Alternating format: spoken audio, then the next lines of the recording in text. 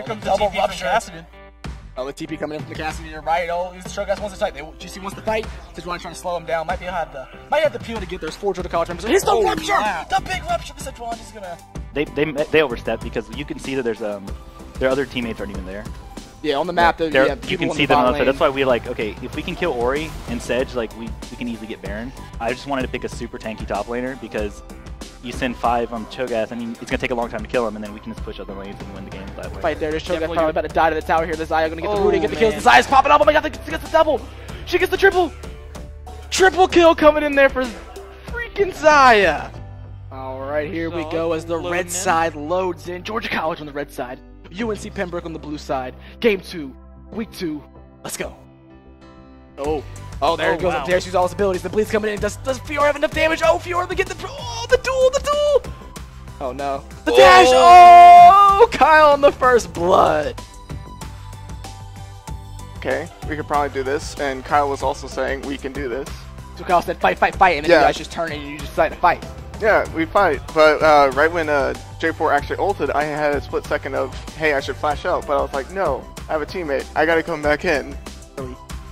Corki's got his package here. They're actually looking to fight. Oh, Georgia College being forced off this Rift Tail here. Uh, The Warrior gonna go in there. He's gonna ult. The carrier's gonna pick up the kill in the Jarvan, and they're gonna be able to clean up the, the Rift Tail right there. Yep. They're still scrapping. They clean up the Corki. And it looks like they're going to be able to get the Darius right here, too. And they can really do about it. Corki gonna stand up there. They're gonna try to fight though. Corki using the package.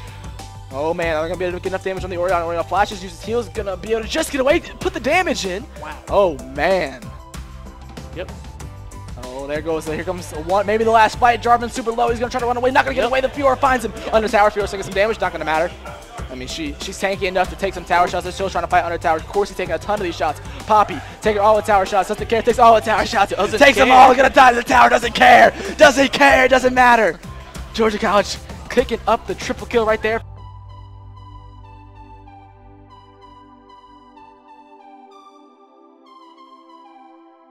Hey, my name's Ethan Omer, and I'm the support. I think you know we, we kind of had a little bump in the road, saying our our, our like main jungler was not there, but David came in, he stepped up to the plate. He's not as high as the rank as everyone else, but you know he did a pretty good job. I think what we need to do moving forward is really diversify our champion pools. Kyle's killing it up top. John has a really good champion pool mid, so there's not much diversity there that he needs.